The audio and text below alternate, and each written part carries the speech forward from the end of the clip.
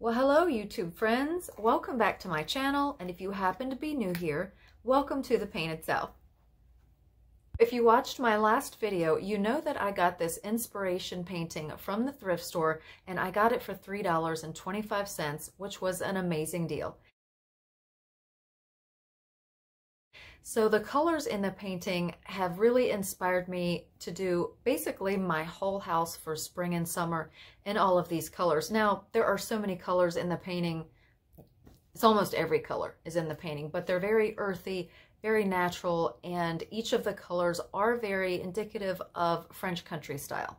So the piece we're going to be refinishing also came from that same thrift store haul as the painting. I got this piece for $2.99. So it was very inexpensive. And I know a lot of times when you watch people do makeovers such as myself, you see that they're using all of these really expensive paints. I happen to have just purchased DIY paints. They are relatively expensive, especially for the 8 ounce containers, but you can use Waverly chalk paint that you can find at at Walmart actually. I think a small one is $1.67. You can get larger sizes or you can get Oops paint from Lowe's or Home Depot and you can usually get a quart for about $2.50. Add plaster of Paris to that or some people use baking soda or other things to make their own chalk paint. So you can do these same techniques and use in more inexpensive paint and still get the same result. I've been doing it for years. I just started to try this more expensive paint, so you can definitely do all of these techniques using different paints. And in a future video, not so far away, I'm going to be comparing all of the different chalk paints, or at least several of them. So with all that being said, let's get into the video. I hope you enjoy this thrift store makeover, and I really hope that you like this new paint tutorial technique that I'm about to share. I love all of the colors in this beautiful painting. They are soft and natural, yet still somewhat vibrant.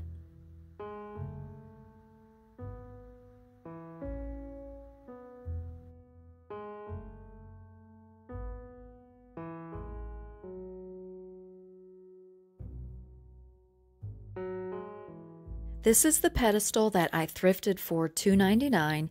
You can see it needs cleaned and it has chips in the resin. I do love the gold on here and that will look great peeking through the new paint.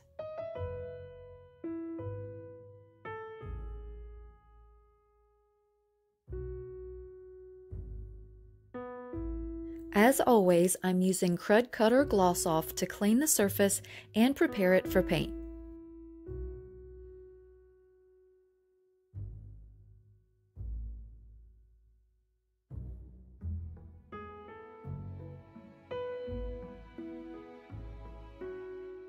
These are my go-to brushes for all of my projects. The angled shortcut brush is available at Home Depot, and the 2-inch chip brush is available almost anywhere. For the first layer, I used Debi's DIY clay-based chalk paint in the color Bohemian Blue. These paints are highly pigmented and they are reactivated easily with water for easy wet distressing.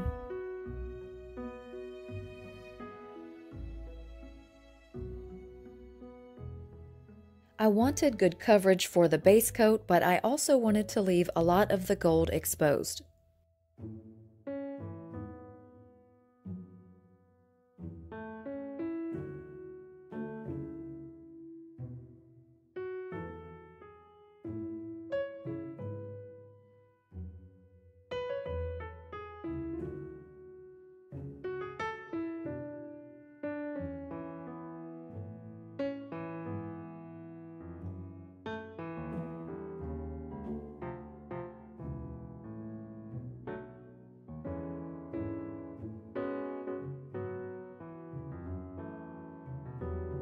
After the first coat of paint dried, I layered a second coat on in the color Fancy Farmgirl.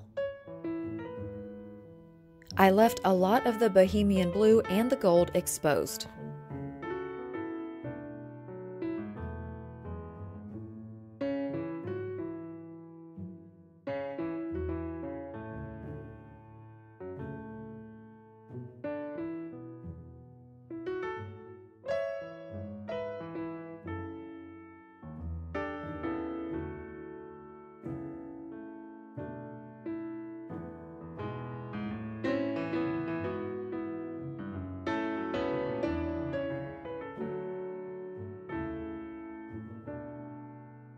For the next coat, I repeated the same process using the color Farm Fresh.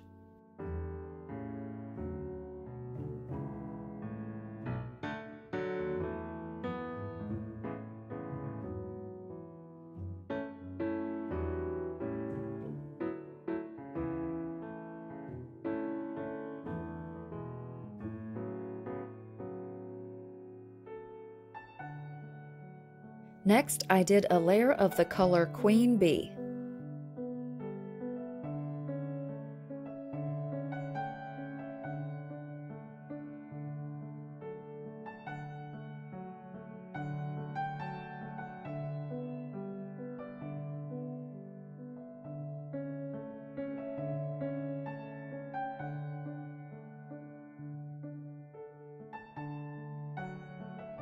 I used a wet paper towel to distress the entire piece, rubbing through all of the paint layers.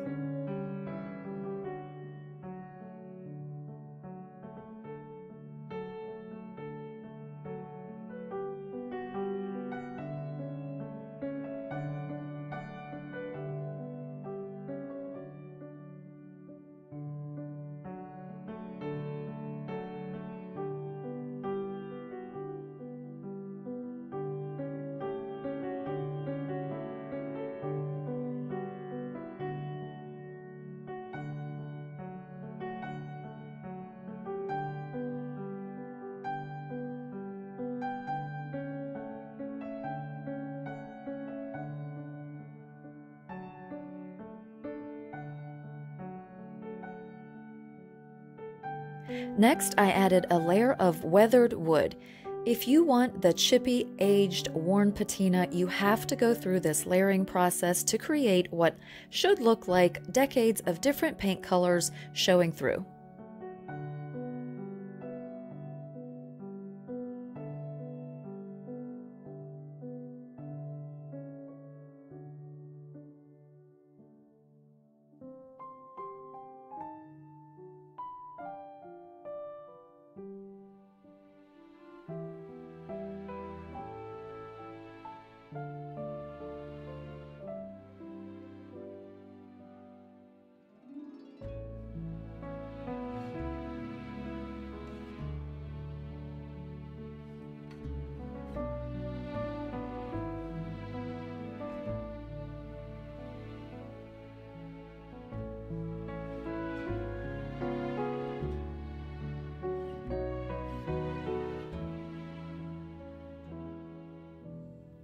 After that coat dried, I decided to go back over the entire piece with more Fancy Farmgirl and Farm Fresh.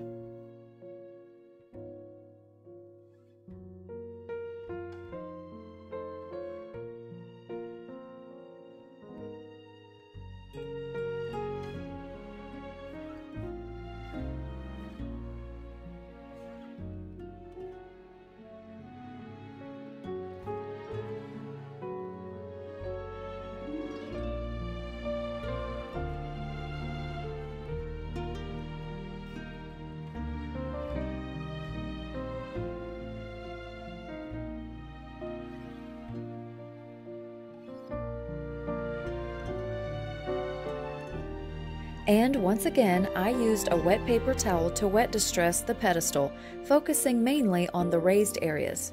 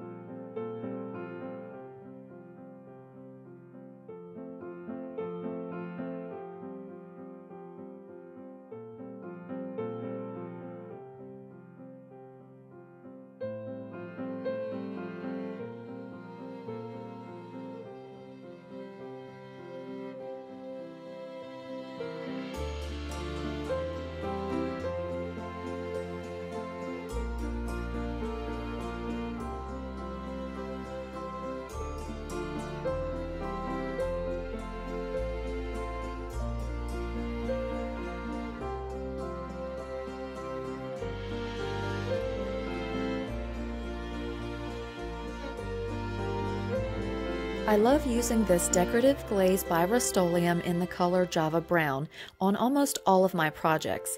It adds depth and gives that aged appearance.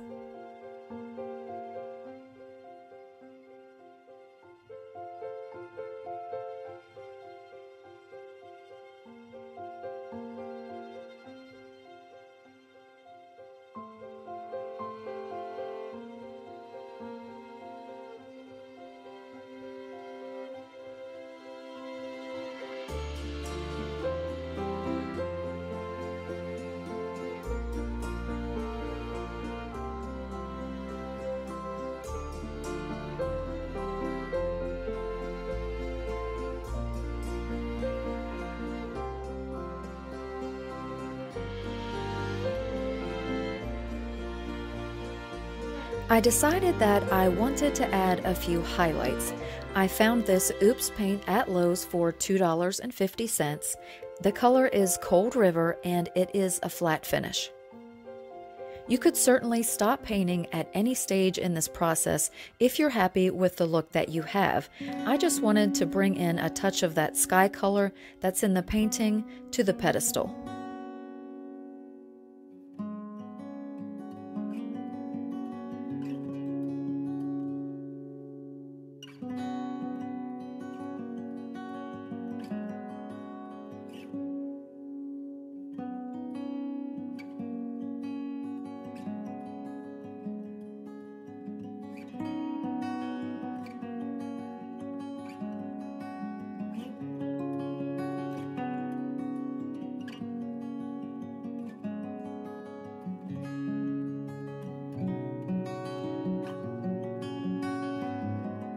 After that, I went back over the entire thing with a second layer of the glaze.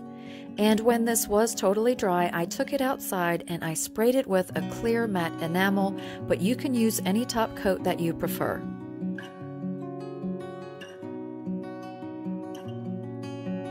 And here is the final look. I absolutely love all of these colors together. The detail of the pedestal really came to life, and I think that it truly looks like it took years to create this patina, but you can do it in just a couple of hours.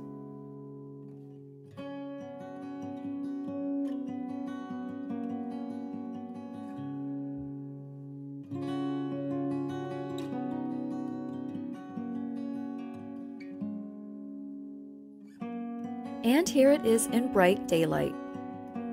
Here's also a hint at my next video. I hope you'll come back and join me for that one. I hope you enjoyed this video and that it inspires you to recreate your home decor using this DIY patina finish. Please like this video if you did, leave a comment below, share it with your friends, and consider subscribing to my channel. Thank you so much for watching and I will see you in the next video.